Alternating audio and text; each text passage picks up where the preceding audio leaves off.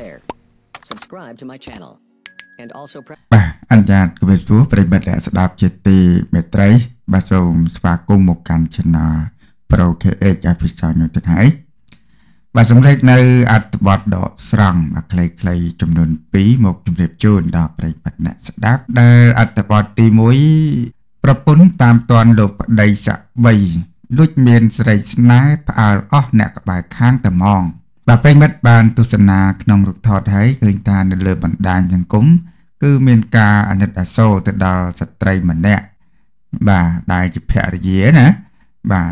អត់បានដេកពូនអីនោះទេរលែងតែតាមរោគប្តីបាទស្រាប់តែមកឃើញតន់បាទនៅក្នុងបន្ទប់ស្រីស្នេហ៍តែម្ដងបាទទៀតយើងមកតាមដានមើលថាតើរឿងរ៉ាវនេះបាទកើតឡើងយ៉ាងណាដែរទី2 យល់យ៉ាងណាដែរចេញពីសាលាមិនដល់ផ្ទះយកលេសទូរស័ព្ទអស់ថ្មរហូត បំផុតបងប្រុសរោគមិនឃើញមិននឹកស្មានថាមកសងំកន្លែងនឹងសោះបាទប្រិមិត្តនេះគេតើតើនឹងរឿងរ៉ាវបាទថ្មីថ្មីដែលប្អូនស្រីម្នាក់បាទជាសិស្សសាលាណាហើយចេញពីរៀនអត់អត់ឃើញបាទដល់ផ្ទះអីនោះទេ បាទស្រាប់តែមកនៅកន្លែងកញ្ចោះបាទដោយបងប្រុសនោះបាទតាមតន់ ហើយប្រាប់ថាទូរស័ព្ទនឹងអស់ថ្ម បាទតាមពិតយកលេសបាទជប់សង្សារឬក៏យ៉ាងណាចឹងប្រិមិត្តយើងមកតាមដានលំអិតនៅអត្ថបទទាំងពីរនេះដូចតទៅប្រពន្ធតាមតាន់លោកប្តីចាក់3ដូចមានស្រីស្នេហ៍ផ្អើអស់អ្នកនៅក្បែរមន្ត្រីនគរបាលម្នាក់ត្រូវបានប្រពន្ធតាមតាន់ដូចលាក់មានស្រីថ្មី នៅក្នុងបន្ទប់ជួលហើយក៏មានដំណោះគ្នាបែកផ្សែង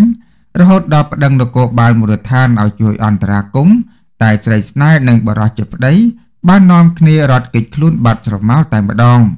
ដែលហេតុការណ៍តាមតនប្តីខាងលើនេះបង្កឲ្យមានការភ្ញាក់ផ្អើលកាលពីវេលាម៉ោងប្រមាណ12:30នាទីយប់ឈានចូលថ្ងៃទី6ខែមករាឆ្នាំ2023នៅចំណុចបន្ទប់ជួលមួយកន្លែង ក្នុងភូមិវិមានទ្រង់សង្កាត់ក្រាំងថ្នងខណ្ឌចានចុករាជធានីភ្នំពេញបរិសុទ្ធជាប្តីលួចលាក់មានស្រីថ្មីមានឈ្មោះថា ប្រាក់សុភារាភេទប្រុសអាយុ36ឆ្នាំមុខរបរជាមន្ត្រីនគរបាលថ្នាក់អនុសេនីយ៍ឯកពាក់ស័ក3នៅរាជបណ្ឌិតសភា ចំណែកឯស្ត្រីជាប្រពន្ធឈ្មោះថាសុកថាវរីអាយុ29ឆ្នាំ មានទីលំនៅស្នាក់នៅភូមិ3សង្កាត់ក្អមសំណស្រុកលើកដែកខេត្តកណ្ដាល មានកូនស្រីតូចរស់នៅក្នុងបន្ទប់ដោយឡែកនារីជាស្រីស្នេហ៍ពុំត្រូវបានស្គាល់អត្តសញ្ញាណនៅឡើយបើតាមស្ត្រីជាប្រពន្ធបានឲ្យដឹងថាគាត់និងប្តីបានរស់នៅជាមួយគ្នារយៈពេល4ឆ្នាំមកហើយដោយពុំបានរៀបការឡើយបានត្រឹមតែសែនព្រេននិងចោះអត្តាស៊ីវិលត្រឹមត្រូវការរស់នៅជាមួយគ្នាបានកូនស្រីមួយ ដោយថ្មីថ្មីនេះគាត់ពីអ្នកប្តីប្រពន្ធមិនសូវចោះសម្រងគ្នា ហើយប្តីតែងតែបង្កចំនួនក្នុងគ្រួសារនិងប្រាហិង្សាជាញឹកញាប់នឹងបានកិច្ចមិនចូលផ្ទះស្ត្រីជាប្រពន្ធបានឲ្យដឹងទៀតថា ដោយមានការសង្ស័យថាប្តីមានស្រីថ្មី ហើយចេះតែរករឿងបង្កហិង្សាគាត់ក៏បានជួលគេឲ្យតាមដានប្តីនិងដឹងដំណឹងថាប្តីមានស្រីនិងបើករថយន្តស្លាកលេខនគរបាលមកដេកនៅផ្ទះជួលជាមួយនឹងស្រីស្នេហ៍ខាងលើ បន្ទាប់ពីដឹងប្តីមានស្រី គាត់ក៏បាននាំម្ដាយនិងកូនស្រីជួលរថយន្តគេជិះមកពីស្រុកកំណើតតាមរកដីហើយបានប្រទះឃើញប្តីនៅក្នុងបន្ទប់ជួលជាមួយស្រីស្នេហ៍ក៏មានដំណោះគ្នាបង្កឲ្យមានការភ្ញាក់ផ្អើលពេញភូមិតែម្ដងតាមព័ត៌មានបានឲ្យដឹងទៀតថាបរិះជាប្តីក៏បានគម្រាមកំហែងបំរុងប្រាហិង្សាមកលើស្ត្រីជាប្រពន្ធថែមទៀតបន្ទាប់ពីប្រទះឃើញប្តីមានស្រីដំណោះគ្នាផ្អើលពេញភូមិបែបនេះស្ត្រីជាប្រពន្ធក៏បានប្តឹងនគរបាលមូលដ្ឋាន ឲ្យចោះជួយអន្តរាគមន៍លុះក្រោយមកបរោះជាប្តីនឹងស្រីស្នេហ៍បានបើកទ្វារចេញពីបន្ទប់រួចរត់គេចខ្លួនបាត់ស្រមោល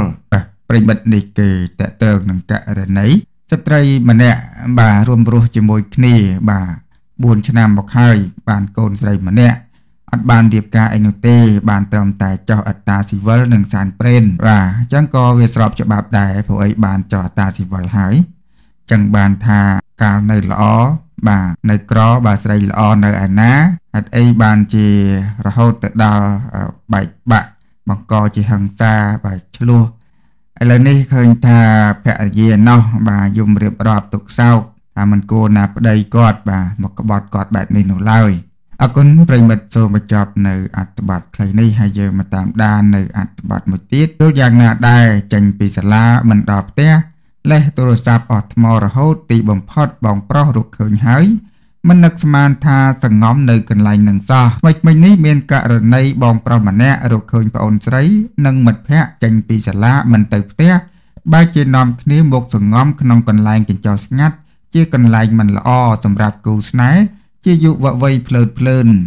បានកំពុងតែបង្កឲ្យមានការរិះគន់និងយល់ស្របវេកញែកឡើងចម្រូងចម្រាសនៅលើបណ្ដាញទំនាក់ទំនងសង្គម គណៈវីដេអូនេះកំពុងតែទទួលបានការចាប់អារម្មណ៍យ៉ាងខ្លាំងតាមរយៈវីដេអូបង្ហាញពីក្មេងស្រីវ័យជំទង់2នាក់ស្ថិតនៅក្នុងសម្លៀកបំពាក់ជាសាសាឡា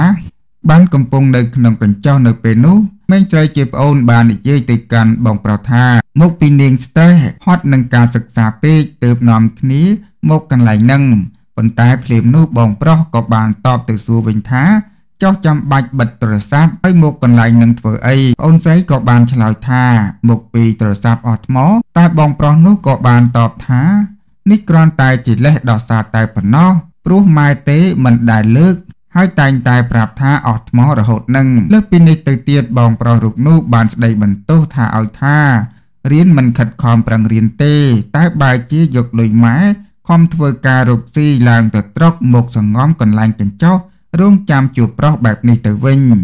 បងប្រុសនោះបាននិយាយថាសំឡាងហើយដែលអាប្រុសនោះមិនតាន់មកដល់កំអីដឹងតែផ្អើកញ្ចោះនឹងហើយទោះជាយ៉ាងណាប្អូនស្រីនោះដែលហាក់កំពុងតែផ្ដើមឆ្លក់នឹងស្នេហា ទាំងមិនតាន់ដោះស្លាប់ផង បានបោះសម្ដីដាក់បងប្រុសដ៏ហួសចិត្តថា បងឯងចេះដឹងអីខ្លួនខ្ញុំតើយ៉ាងណាមិញចំពោះមូលហេតុដែលបងប្រុសសម្រេចចិត្តថតបង្ហោះបែបនេះគឺអាចដោយសារតែប្អូនស្រីរូបនេះនិយាយមិនស្ដាប់ហើយបងប្រុសគ្មានជំរើសណាមួយក្រៅពីថតបង្ហោះតែប៉ុណ្ណោះជាក់ស្ដែងបរិសជាបងប្រុសបាននិយាយថាដើរទៅណាមកណាមិនដែលចេះប្រាប់ម៉ែឲ្យដឹងទេហើយតែងតែលេះប្រាប់ថាទូរស័ព្ទអត់ថ្មរហូត តែមិននឹកស្មានថាមកសងំនៅកន្លែងមិនល្អបែបនេះ តាក់ទងនឹងរឿងនេះឃើញថាមានបងប្អូនមហាជនមួយចំនួនបានរិះគន់បងប្រុសមិនគួរណាមកថតប្អូនបង្ហោះបែបនេះនោះទេ ដែលអាចធ្វើឲ្យប្អូនស្រីខ្មាស់គេកិតខ្លីព្រោះក្មេងស្រីសម័យនេះឆាប់ចូលនិងសេចក្តីស្លាប់ណាហើយទូយ៉ាងណាក៏មានមតិយល់ស្របនឹងទង្វើរបស់បុរសជាបងដោយគេបានលើកឡើងថាពួកជាបងចេះជួយដាស់តឿនប្អូនបែបនេះពិតជាល្អណាស់កុំចាំដល់ពេលជ្រុលជ្រោះហើយបានខំការពារដាស់តឿនក៏ ក៏គ្មានន័យអ្វីបានមកវិញដែរគណៈនារីម្នាក់ដែលជាស្រីដូចគ្នាក៏បានសម្ដែងការហួសចិត្តនឹងពាក្យសម្ដីប្អូនស្រីនោះថាបងឯងចេះដឹងអីខ្លួនខ្ញុំតើដោយបានដាក់កប់កប់ថាបងឯងចេះដឹងខ្លួនខ្ញុំខ្ញុំតើត្រូវមែនតែបើខ្លួនរបស់ប្អូនផើមឬគេរំលោភសម្លាប់តើជាកិត្តិយសគេឈ្មោះអ្នកណាហើយអ្នកណាដែលខូចចិត្តស្ទើរតែដាច់ខ្យល់នោះគឺបងប្រុសនិងម៉ែនឹងហើយ មិនបានជាមិនដឹងអីសោះអញ្ចឹងមីនាង ចូលរួមវេកញែកក្នុងរឿងនេះដែរលោកពូម្នាក់ក៏បានលើកឡើងឲ្យដឹងថា បងគេនិយាយត្រឹមត្រូវបើដឹងខ្លួនខុសហើយស្ដាប់គេទៅកុំរឹងប្រើសម្ដីឆ្លើយដាក់បងទៀតមិនតាន់ចេះរកស៊ីអីផងនៅក្នុងការសិក្សាចាយលុយម៉ែឪនៅឡើយចេះមានប្រុសមកពីបងនិយាយមិនស្ដាប់បានជាគេបង្ហោះដើម្បីទុកឲ្យមនុស្សទូទៅក្នុង Facebook ជួយកែលម្អរឿងអញ្ចឹងមិនមែនជាការខ្មាស់អៀនអីទេ មានតែគេជួយណែនាំថែម កូននេះគេហៅថាកូនបំផ្លាញមិនមែនកូនជាទ្របទេ កូនខ្ញុំសុទ្ធតែស្រី4នាក់គេសុទ្ធតែជាកូនទ្របទាំងអស់គេស្ដាប់តាមខ្ញុំណាគេធ្វើការងារអស់ហើយ តែកូនស្រីពៅមួយទេគេជិះកូនកង់ទៅរៀនចម្ងាយ5គីឡូម៉ែត្រ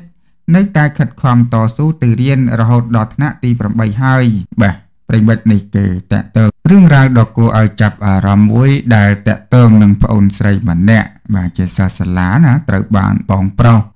បាទតាមស្វែងរកអស់ហើយ